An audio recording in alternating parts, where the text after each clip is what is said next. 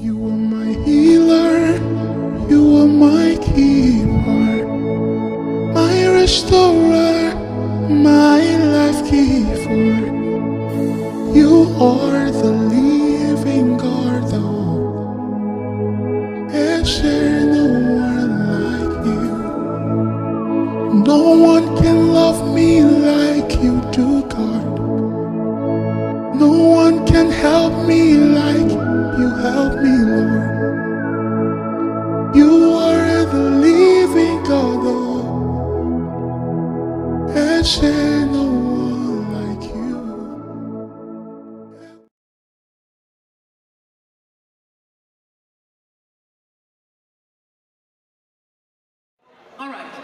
Moving forward, we're inviting on stage now a true Jamaican regal royal man, philanthropist, humanitarian, music producer, black advocate. He has inspired many people near and far. Father, friend, okay? of course, he has fought for truth, justice, and equality and unity from ever since we've heard about him. His name is Big Stone. Yeah, oh brother, welcome to center stage.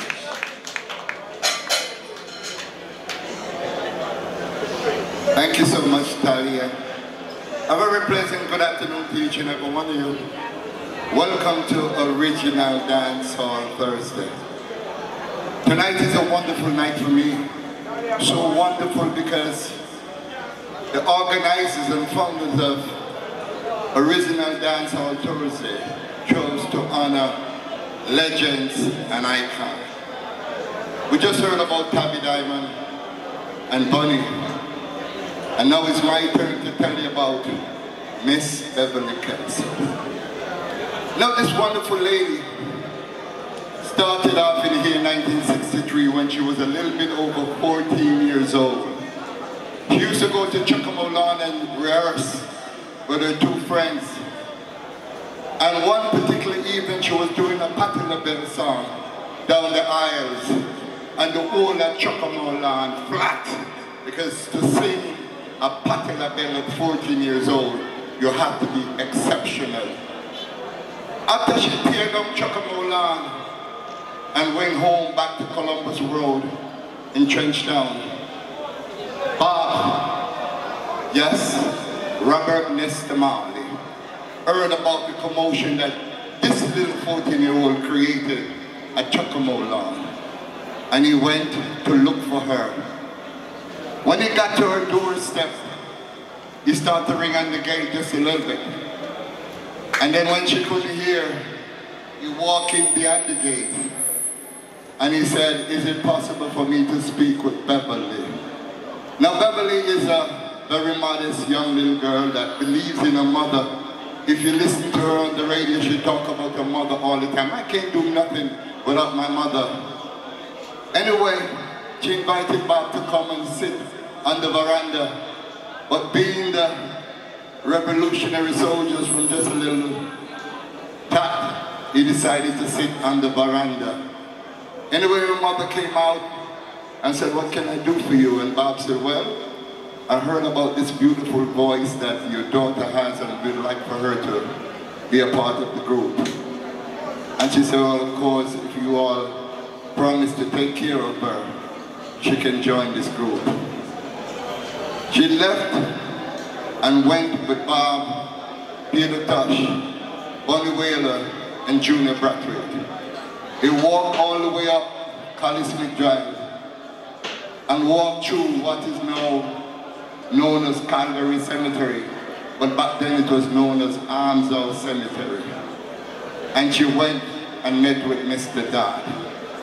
When she went and met with Mr. Dodd, Bob introduced the group, and immediately they went into the studio and did their first song with Coxsone Dodd.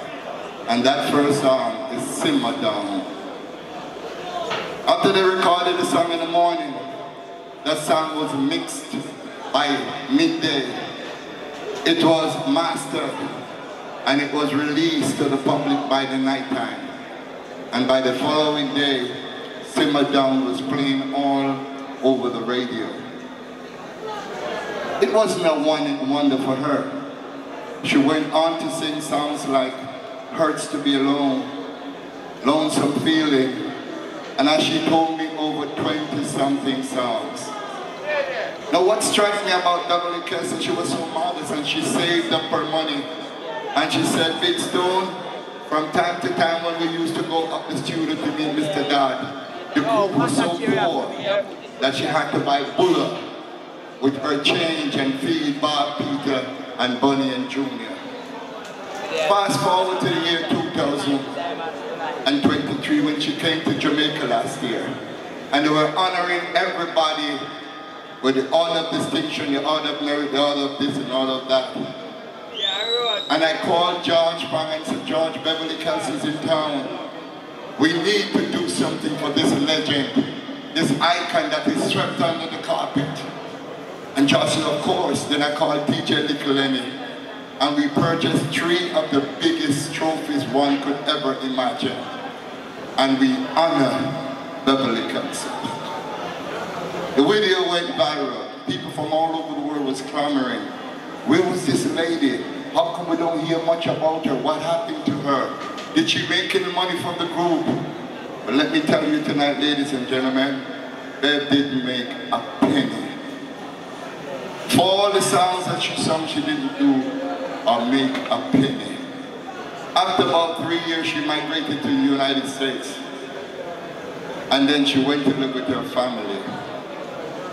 But original dancehall Thursday, my friend O'Neill is doing for her.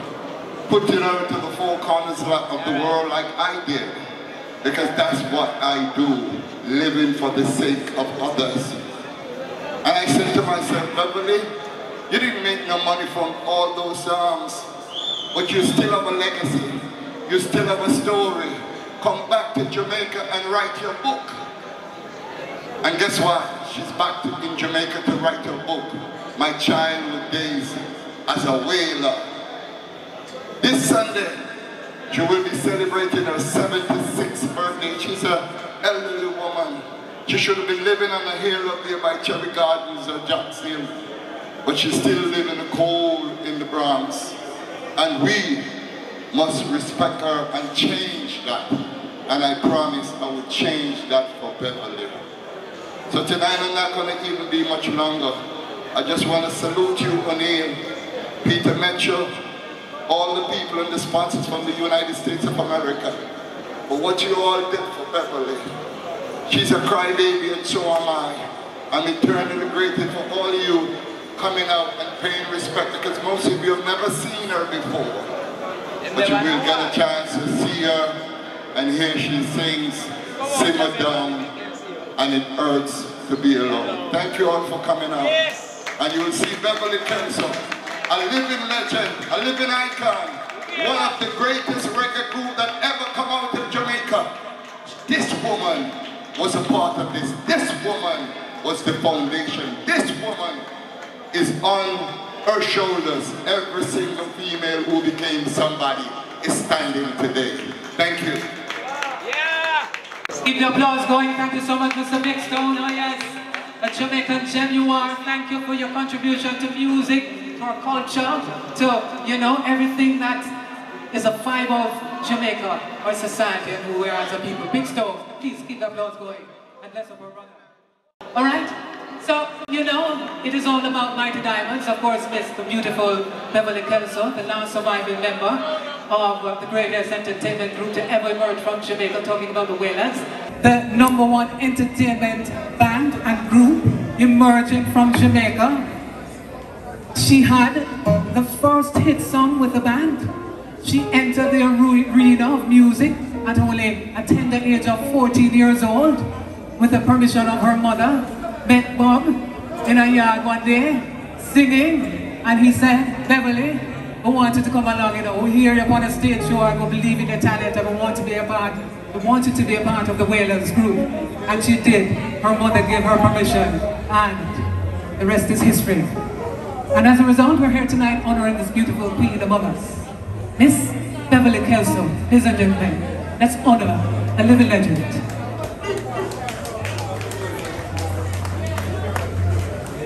That is all. Ladies and gentlemen, Miss Beverly Kelso. And love. We honor you right here.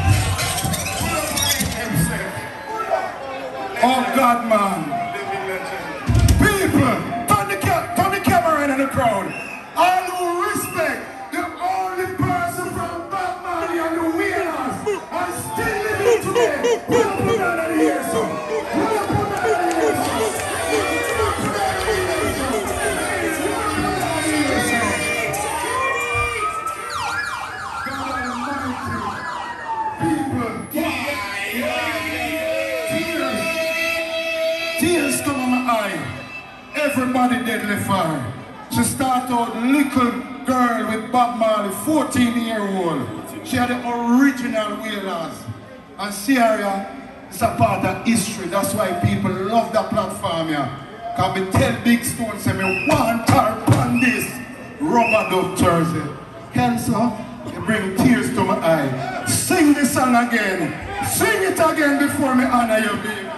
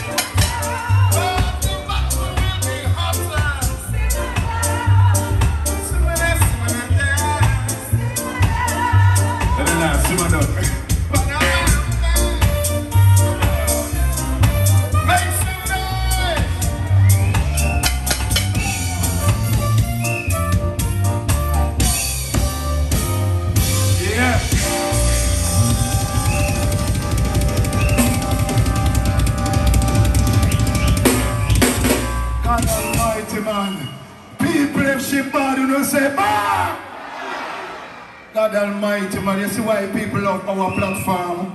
People, 55 years, she not sing on a stage show.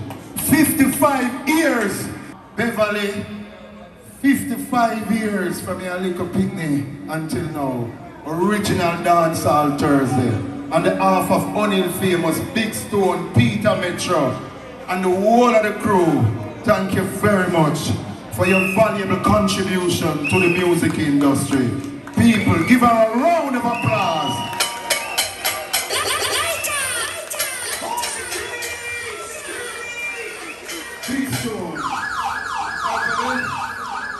I'm so proud of you. I'm so proud of you. I know you could do it.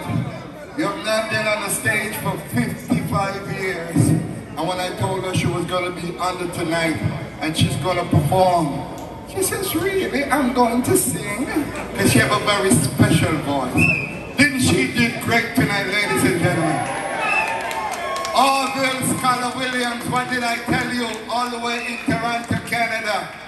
Orville, you see what I told you? You owe me money. She mash up the place. Give Beverly Kelso. Another bit, I love you. What are you going to say to your fans?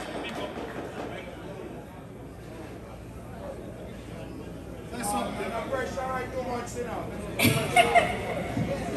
And them. Take it easy, man. Good night, ladies and gentlemen. It's been a while. A while. And I wish all of you the best in life.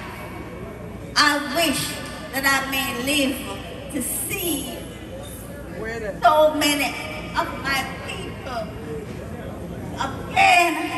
Oh my dear. I feel so good that I'm here in Jamaica that I could just sing a little part of Simmer Down. And I hope I may live to see next year that I may be able to come back and give my people another little part of me.